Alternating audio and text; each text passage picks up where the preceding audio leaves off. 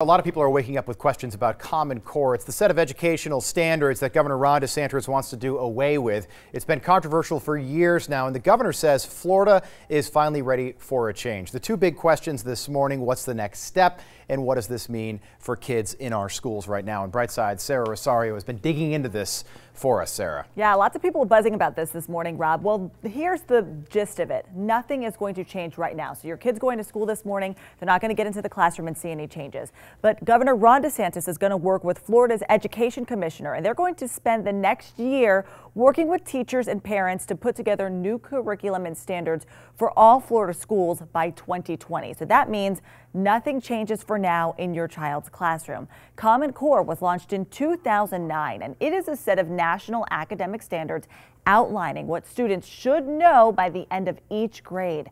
Common Core testing covers things like math, arts, and literacy. And by December of 2013, 45 states all across the country adopted a version of it. Florida was one of those states, except we called ours Florida Standards.